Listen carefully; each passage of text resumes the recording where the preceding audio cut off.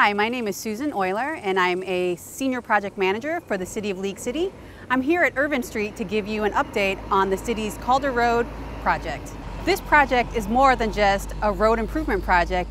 It's a complete reconstruction of the roadway, building it literally from the ground up.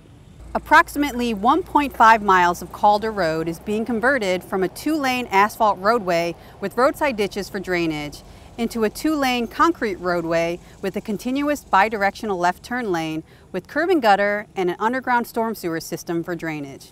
This is a massive project, and when you look at an overhead aerial of Calder Road from January of 2017 and compare it to what it looks like currently, there's a lot of work going on, both above and below ground.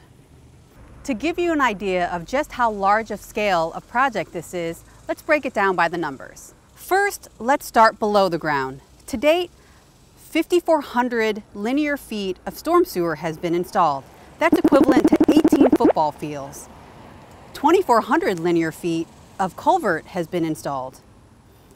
6,000 linear feet of CenterPoint gas line has been relocated. That's equal to 1.1 miles. And 2,000 linear feet of water main has been relocated. Now let's take a look at the work that's been completed above ground.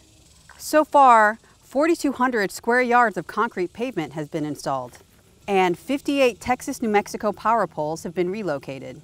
There is still more work to be done, but the intersection at Turner Street is expected to be reopened for northbound traffic in September. And if all goes as planned, weather and other factors permitting, Calder Road is expected to be open for two-way traffic around the end of 2018. In addition, the city has heard the concerns from residents regarding the poor condition of Turner Street. To address these needs, the city will be installing temporary asphalt to make road conditions better for those that live in the area.